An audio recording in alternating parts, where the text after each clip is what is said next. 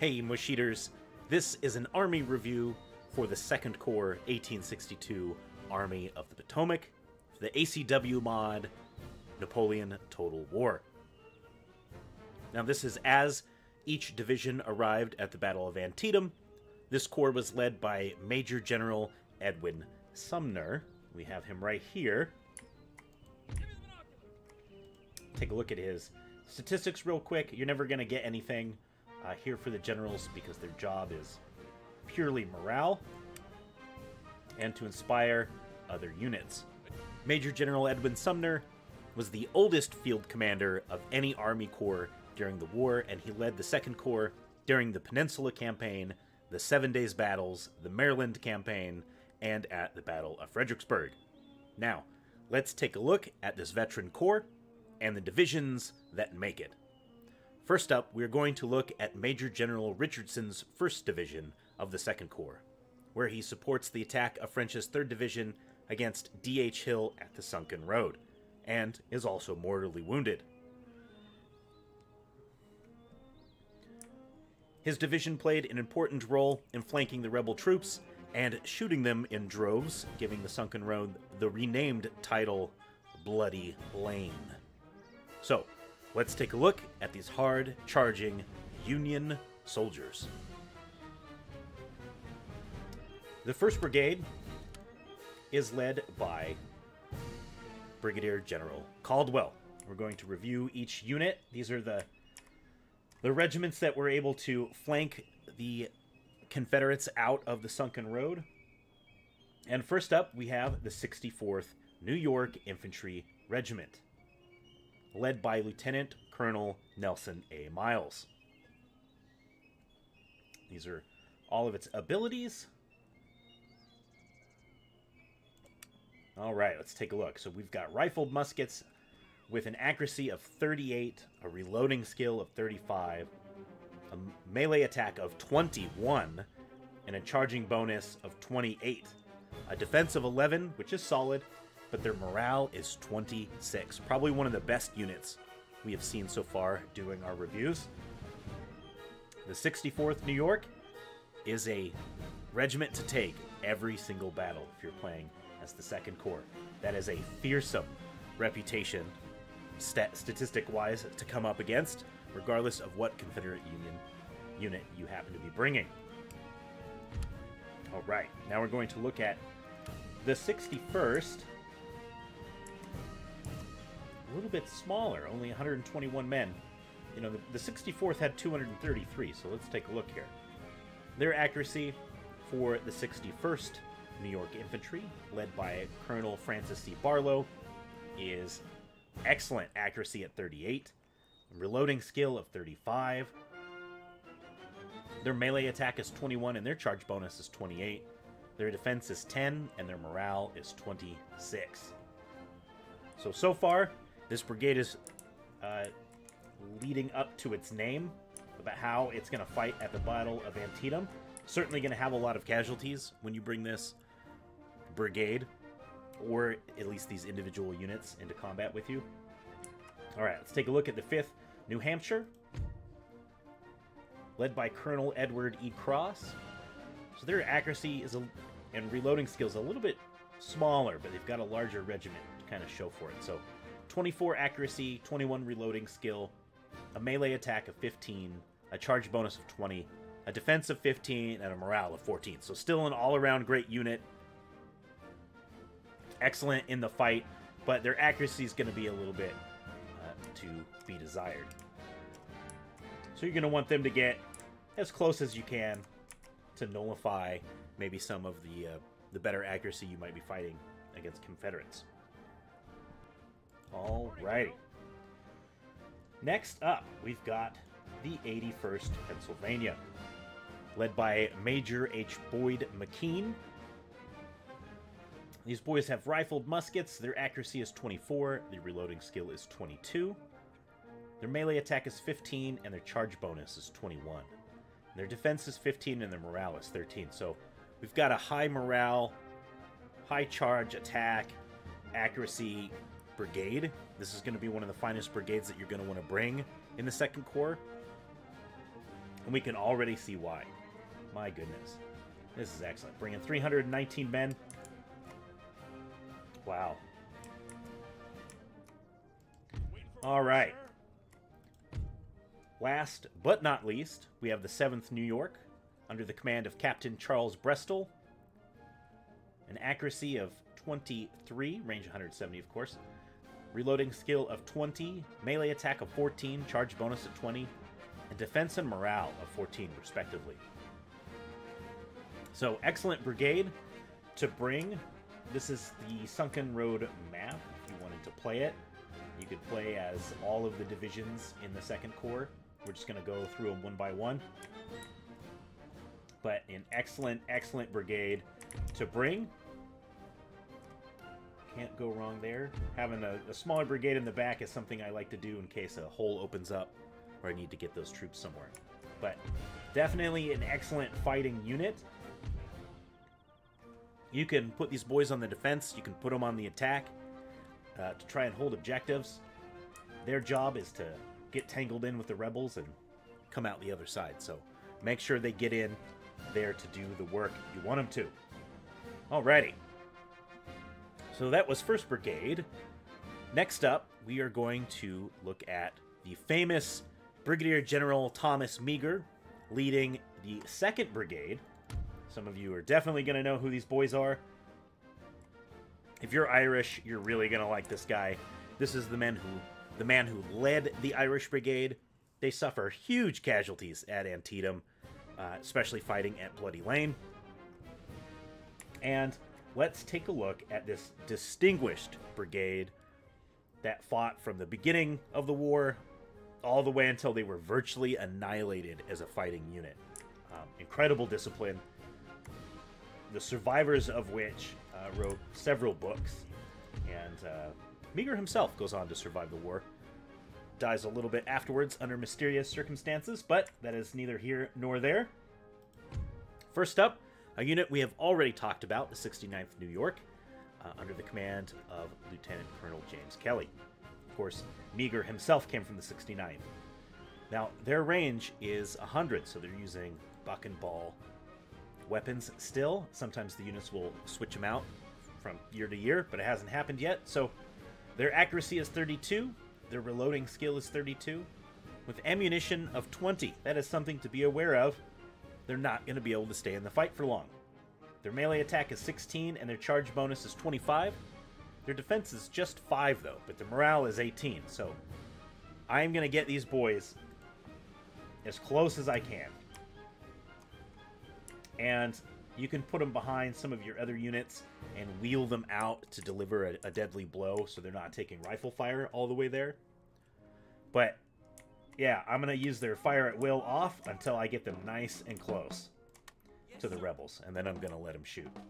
Because 300, 300 shots of buck and ball uh, destroys, at close range, absolutely destroys regiments. You can send them packing. So, we're going to look up at the 88th New York also having buck and ball uh, muskets. Their accuracy is 32. Their reloading skill is 32, so excellent on all counts, but that low ammunition again. Their melee attack is 16. Their charge bonus is 25. Their defense is 5, and their morale is 18. So once again, another short range regiment, both combined 620 men. Can't go wrong there. But that's a lot that you're going to have to get get close. And here we are at the actual objective. This is the sunken road right here. We're going to have French's division attacking across from here. We'll have that. But if you're going to be advancing, you got to look at the layout of the ground of where you're going to put your boys. If we put them here, they're not going to be able to hit anything, and they're going to be taking artillery fire the whole time. So we would want to get these boys nice and close. Or if you could manage it, which is always my favorite to do, if there's rebels there, I'm going to put my boys where they can shoot and where they can't get hit. Uh, I like to sometimes take the time to organize my soldiers so they can shoot over a hill, but when the enemy is shooting back, they're just shooting directly into the hill. So, something to be aware of when you're looking at moving your formations around. All right. The 29th Massachusetts is next, led by Lieutenant Colonel Joseph H. Barnes, also buck and ball. Alrighty. Accuracy is 28, reloading skill is 28, ammunition is 20. So, use these boys very quickly, or at the very end. Either have them in reserve to bring them up to repel the enemy at close range, or to storm an enemy position after a few rounds of buck and ball. Alright, their melee attack is 13, their charge bonus is 20, their defense is 5, uh, and their morale is 16. So if you have these boys take an objective and the enemy runs, make sure that they are not countercharged. As if that happens, oh boy, they're going to be packing. 380, this is a really large, a really large brigade. No wonder they took so many casualties. All right, 63rd New York. Bring in 340 men. Also buck and ball. Accuracy of 28, reloading skill of 28, and ammunition ammunition of 20. Gotta remember it. Alright, their melee attack. melee attack is 13. Their charge bonus is 20. Their defense is 5, and their morale is 16. So, I'm gonna bring them up. As uh, we already have these boys on the move.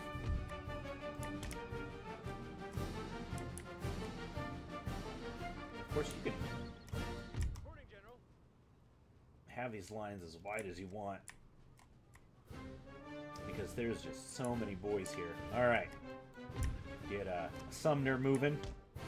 Now let's take a look at the Third Brigade. All right. Now we're going to take a look at the 3rd Brigade.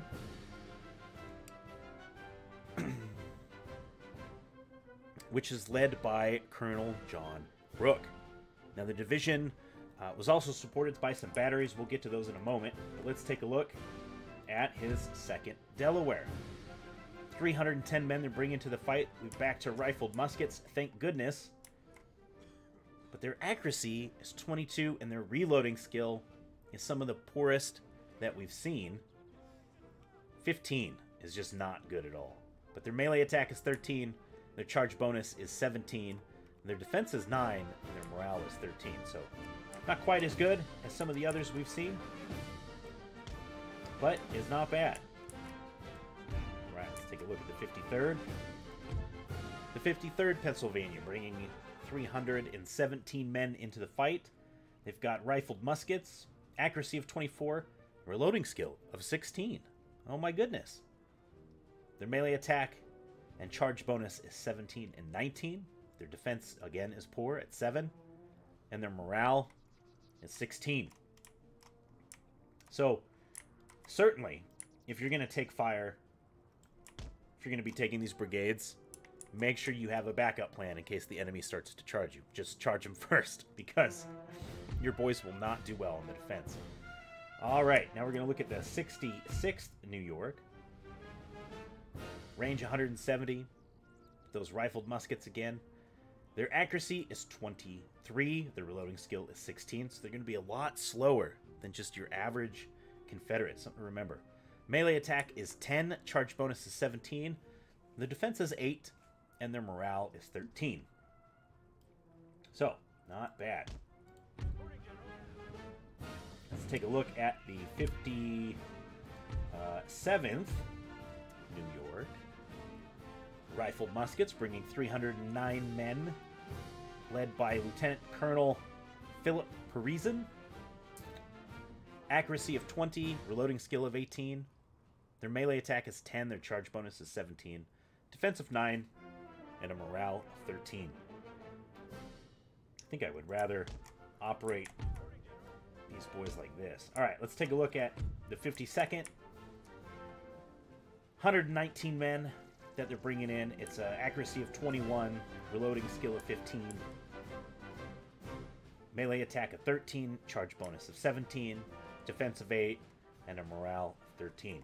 So we're starting to see about how we would like these these regiments to fight and how they should be fought or used to fight. Because that's very clear. Alrighty, now we're going to look at the two guns that are attached to this division. First is the 1st New York Light Battery B, Captain Rufus D. Pettit commanding. 10 pound Parrott's battery, firepower of 18, range of 925, accuracy of 55, reloading skill of 25. This is a, a good spot as any to launch attacks against the rebels if you can. But as you can see, if you look where we're at, we're right at the range where our own artillery might start to shoot at our boys. They're right at the apex of the of the ground here before they would launch their attack. And, you know, the entire time you're here, you're going to be under fire from Confederates, so... Alrighty. We'll reenact a little bit of history here. oh my goodness. Alright, well that's it for the first division. Let's go ahead and look at the third div division, led by uh, Brigadier General William French. He, they would see ex extensive fighting here at the Sunken Road, and it's going to cost them dearly. He's on uh, this side of the road here. And so he sends two brigades we're going to take a look at over here, and a third on that side. Let's get into it. We are about to cover Brigadier General William French's division. It is both smaller and larger at the same time. All right, so we're going to take a look right at his 1st Brigade, which is under Brigadier General Nathan Kimball. Let's take a look at the 132nd Pennsylvania. Look at these regimental sizes. Okay, it's very important to remember that size does not always is not always a good thing. But let's take a look at their stats and we'll judge for ourselves. So, bringing 750 men to the fight, they have a range of 170, accuracy of 21, a reloading skill of 25. Their melee attack is 14, their charge bonus is low at 7, probably due to cohesion. Their defense is 15 and their morale is 13. So very very decent. It's a it's a good regiment to have. All right, take a look at the 8th Ohio under the command of Lieutenant Franklin Sawyer. Bringing 341 men to the fight. We've got a range of 170, an accuracy of 25, a reloading skill of 26. Their melee attack is 16, their charge bonus is 8, their defense is 16, and their morale is 15. So both very high uh, and very good on the defense, which is you're gonna you're gonna do a lot of that against Confederates, that's for sure. All right, moving on to the Seventh West Virginia under Colonel Joseph Snider, taking rifled muskets. Accuracy is 23, reloading skills 26. Their melee attack is 13, and their charge bonus is 8. And their defense is 18, and their morale is 15. We just got some uh, Confederates coming up, so we're gonna move up the artillery here. Alrighty.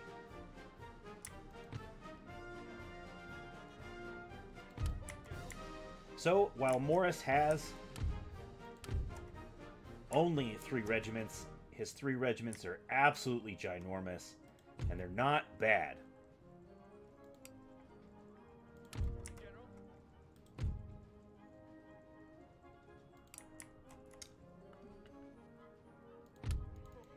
All right, we're going to go ahead and take a look at 2nd Brigade, led by Colonel Dwight Morris. It's a little bit smaller than the others, and yet also larger. We have 1,015 troops here with the 14th Connecticut, Lieutenant Colonel Sanford H. Perkins. Let's take a look. They've got low accuracy and reloading skill, their melee attack is 8, their charge bonus is 9, their defense is 9, and their morale is 7. So a fresh regiment on the battlefield doesn't always work out well. We'll see how they do in this little coming fight skirmish we're going to have with the rebels. I'm not trying though, so don't expect anything too important. All right, let's take a look at the 108th New York, bringing 740 men to the battlefield.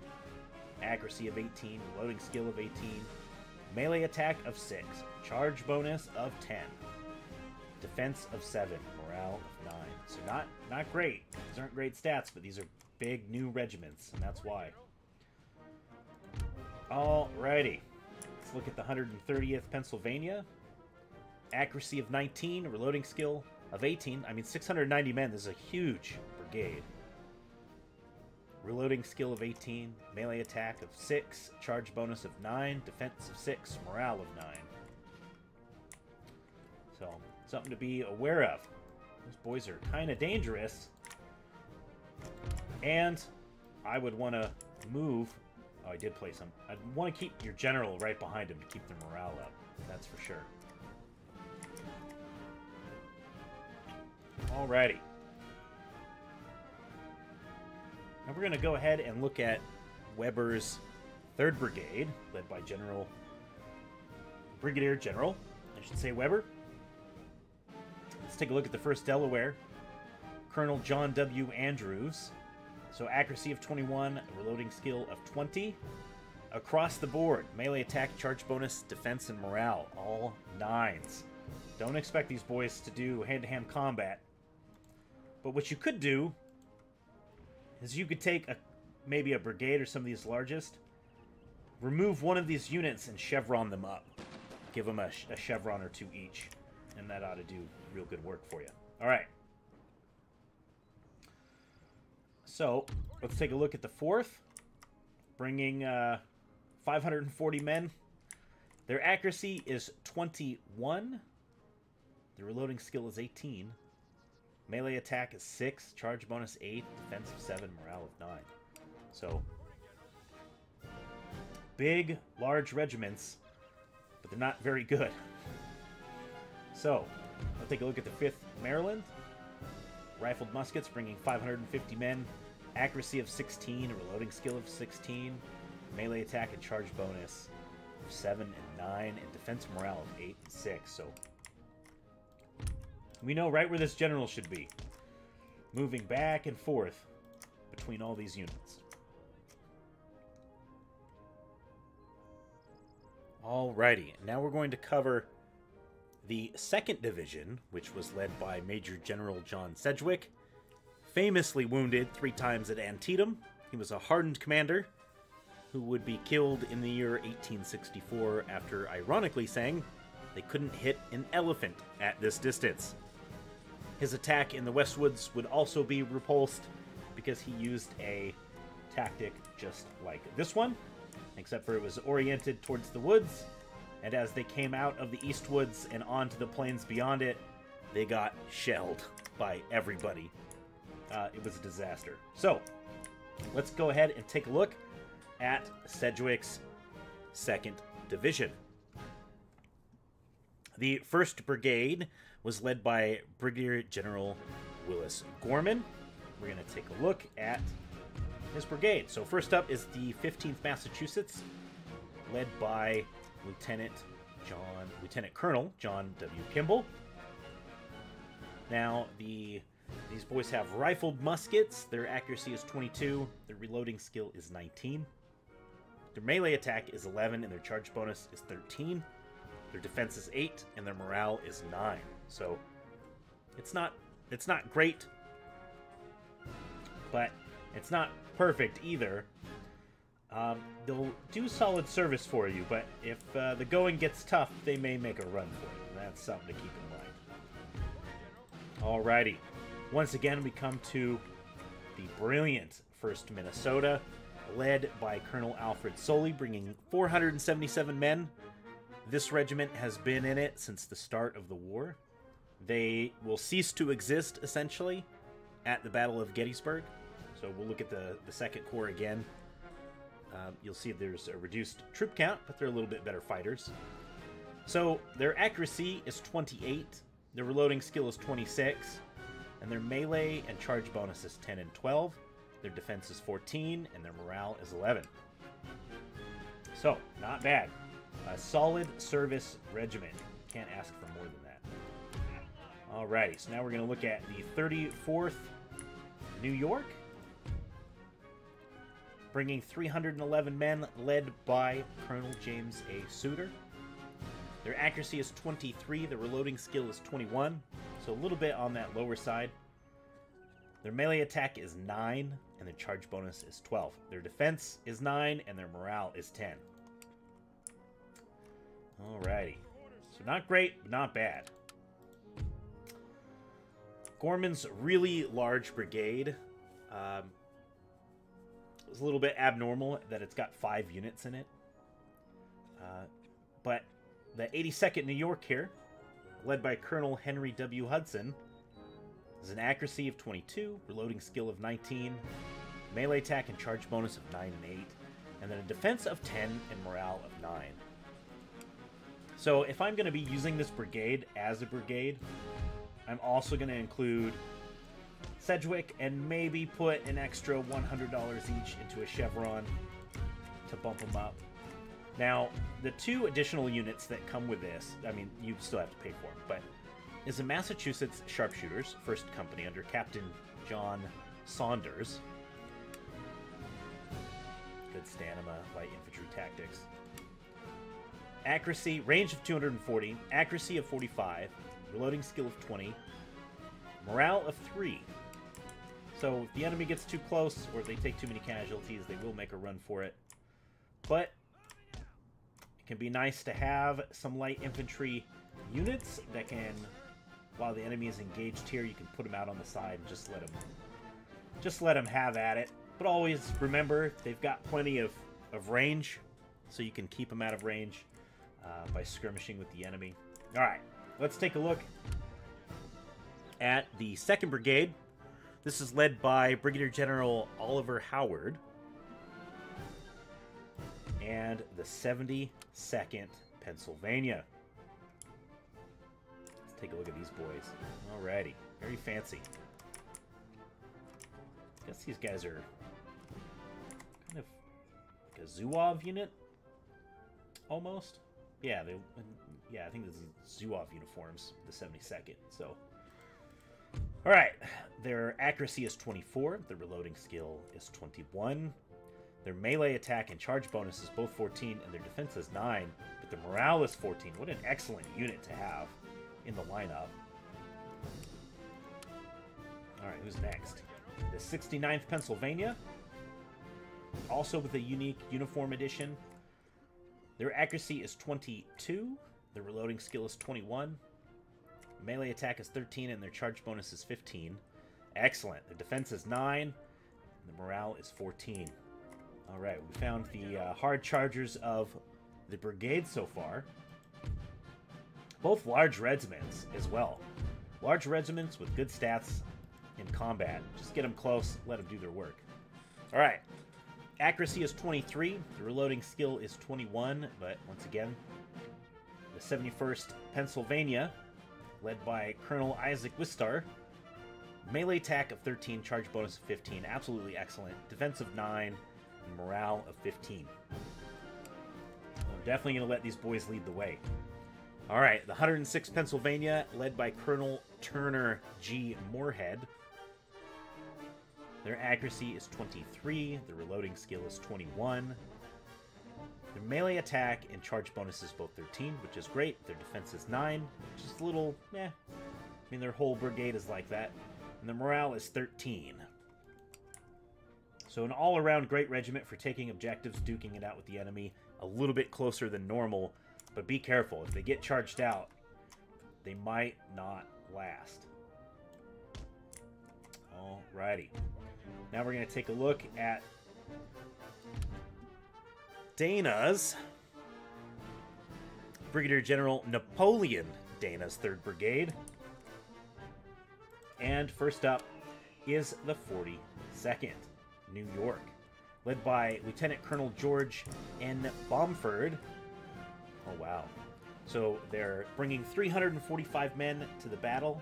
Their accuracy, their, their range is rifled muskets, so 170. Their accuracy and their reloading skill is both 18, so substandard. Their melee attack and charge bonus is 9 and 8. And their defense is 10. And their morale is 8. So not a great unit. All right. The 59th New York, bringing 381 men in the regiment, led by Colonel William L. Tidball. Great last name. Their accuracy is 20, reloading skill is 18, and their melee, charge, defense is all 9. And their morale is very poor at 6. Alrighty. Got the 7th Michigan here, bringing 402 men in this regiment, led by Colonel Norman J. Hall. Got rifled muskets. Their accuracy is 17. Their reloading skill is 18. Ammunition is good. Their melee attack is 9, and their charge bonus is 11. Defense is 9, and their morale is 8. So, if you notice when you're looking at Dana's in the uh, buy screen, I should say,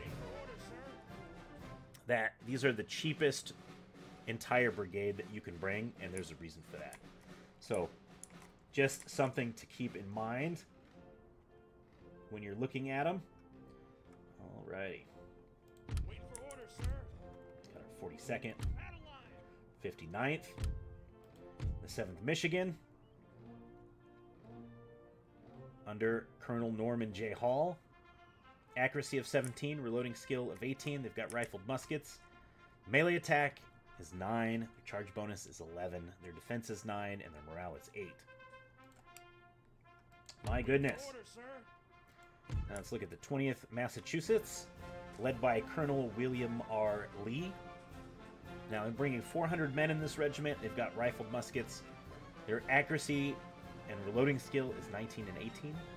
Standard ammunition Melee attack is 11, their charge bonus is 8, and their defense is 10, and their morale is 8. So, not going to do great on, on the battlefield pretty much at all. So, something to think of.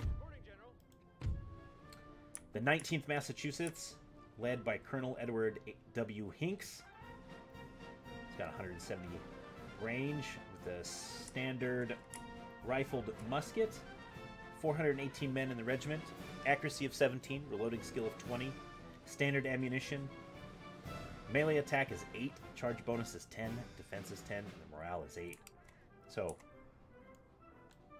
this brigade can bring and field a lot of men. Oh my goodness, it's a huge brigade. In fact, kind of some of these are. These two are, but they don't have some of the greatest stats. Some of them do, some of them don't.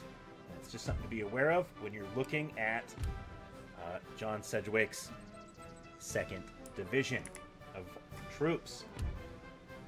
Now, we do have some batteries here. We've got the first Rhode Island Light Battery A, 6 gun, 10 pound Parrotts, firepower of 18. Good range, 925. Okay accuracy at 55. The reloading skill is 25. And over here, we've got the 1st United States Battery I, under command of Lieutenant George A. Woodruff. Six guns, 12 pound Napoleons. That's what I'm talking about. Let's take a look. Firepower is 180. Their range is 810. Their accuracy is 65. Excellent accuracy. Ooh, there you go. You misfire, apparently, over here.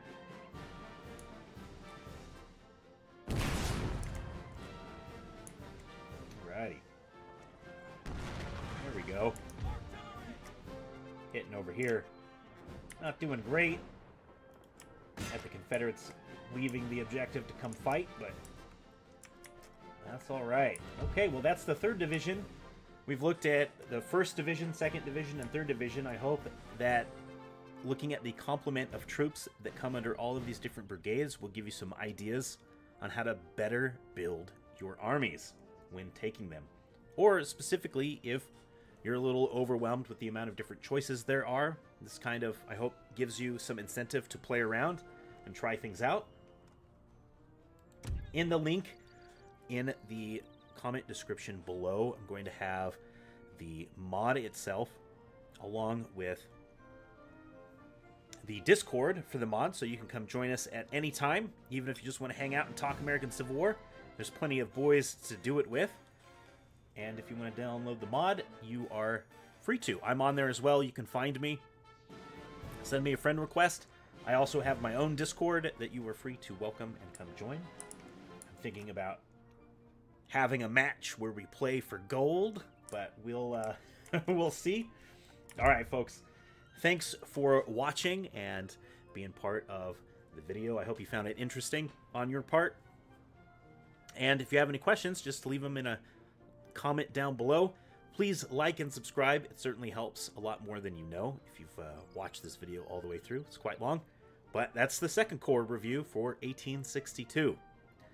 Well, Mush Eaters, thank you for watching, and I will catch you in the next episode.